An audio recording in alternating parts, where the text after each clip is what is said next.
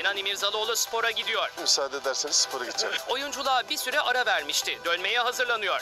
Dizi sektörünün krizde olduğunu ve yeniden toparlanması gerektiğini düşünüyor. Esas olan sektörün yaşaması arkadaşlar. Reyting korkusu değil. O bizim bugünlük korku. Yarın başka bir iş olur. Mesele o değil. Mesele sektörün yaşaması.